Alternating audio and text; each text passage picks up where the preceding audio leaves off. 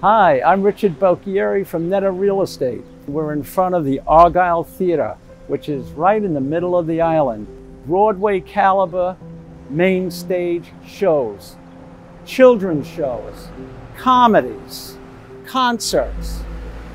You name it, they have it. Uh, you got to come in and meet the owners. So we're here in the uh, lobby at Argyle Theater with the uh, owners, Mark and his son Dylan, and the general manager, Marty. Why did you start this business? What made you start this business? We're crazy. yeah. Dylan, why don't you take it first?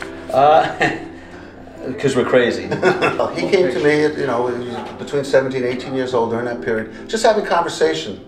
Just conversation about, Dad, you know, I think we could do this. I think we could maybe, we could run a theater. And I think we could do a pretty good job of it. And looking at venues, we learned a lot, but we also were working together because every venue we went to, we had new ideas. And we started to pay so much attention to the building itself and the attributes of the building and the attributes of the village and where this was and, and, and did this have potential. From the, from the initial um, pursuit in 2012 till 10 years later where we're sitting today, um, we looked at all sorts of places, old abandoned warehouses, abandoned dilapidated movie theaters, and when this movie theater closed here, the, the Babylon Cinema, in September of 2014, the, the timing was right. We had been through it with uh, other potential properties, and we, we pounced right on it. This is the best talent um, that, you know, it's the same talent as Broadway. They're literally taking the train to Babylon, yeah. walking down Deer Park Avenue and, and performing on our stage we feel like we're enriching the community and the community's enriching us. If it's it's a two-way thing. That come into the village, that eat at the restaurants, that shop in the in the retail shops.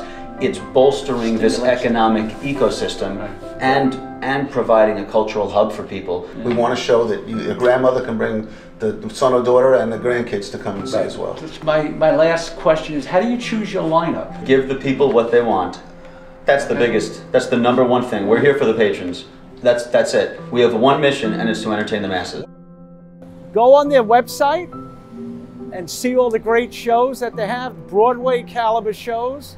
Get on the email list. You can walk to the nearest fine restaurants, bars, and coffee shop. Get entertained. Thank you very much. Richie Bocchieri from Netter Real Estate.